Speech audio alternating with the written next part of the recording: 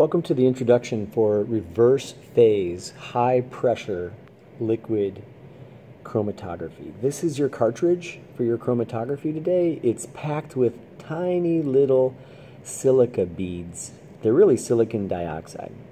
And that silicon dioxide uh, is, is glass.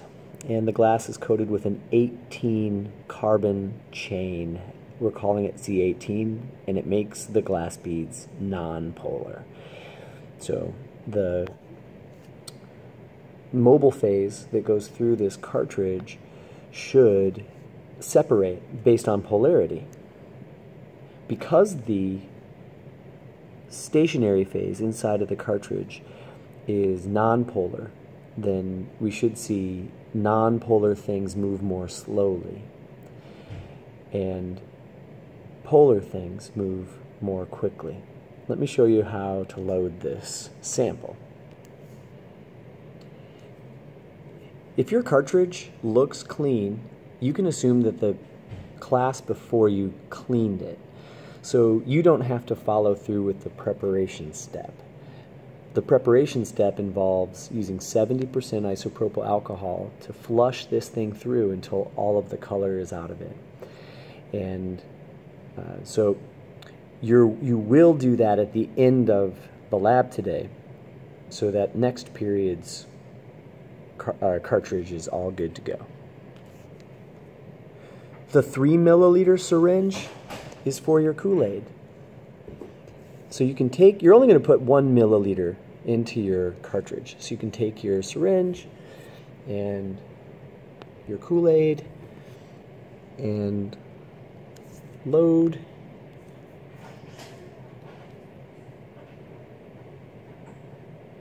Just over a milliliter of the Kool-Aid into your syringe. To load your sample, you want to take your syringe, insert it into the long end of your cartridge, and you want to keep an eyeball on the level change of your plunger. So the plunger, when you are loading your sample in, should move one milliliter. And let's see if I can make that work.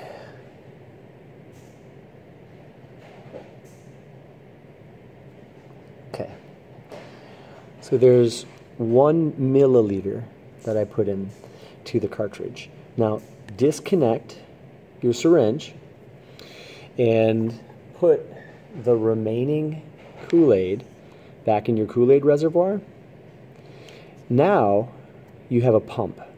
This syringe becomes a pump to load your sample the rest of the way into your column.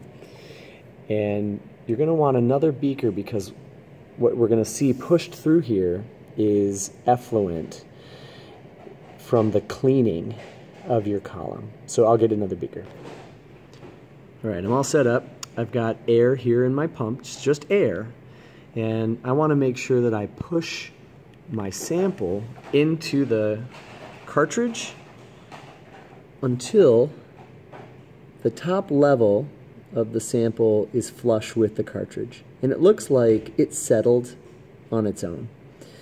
And so you'd use your syringe as a pump to push your sample down, just with air, until the top level of your sample is flush with the top level of the silica in your cartridge. And you can probably see that we already have some dye separation here. The bottom of the cartridge is more red and the blue dye is moving more slowly. All of our syringes are color coded. And I want you to uh, pay attention to the fact that I'm doing part one and I'm using the red syringe, which is tied to the 18% isopropyl solution. That's your part one eluent. And you're asked to load your syringe with 10 milliliters of the 18% isopropyl which is going to be your eluent. I've got my 10 milliliters. Hook that back up to your cartridge. And you want a slow and steady flow rate. You can use your beaker again. And while you're pushing your eluent through your cartridge, you want to keep an eye on the color of your solution. And you want a starting volume. Oops, actually you're going to be using a graduated cylinder. You want a starting volume for when the first color starts coming through. You want a stopping volume for when there's a transition between that first color and second color. Uh, you want a starting volume for your second color and an ending volume for that second color. And it looks like from our column that it's going to be red and blue. So you're going to be keeping your eye on the volume down here really carefully and you're going to be depressing the plunger slowly and steadily. I think the rate is 5 to 10 milliliters per minute, so this should take about a minute to two minutes to do. And record your volumes, record your observations.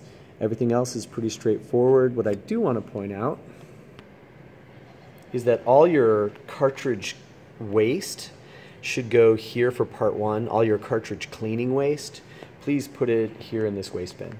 But when you move on to part two, we want to save your effluent because I want to dry it. I want to evaporate the, um, the solvent, which is our eluent. And I want to look at what remains are there going to be oils or dyes or salts? Uh, and we'll look at those as uh, part of this lab the next day that we're in class. All right.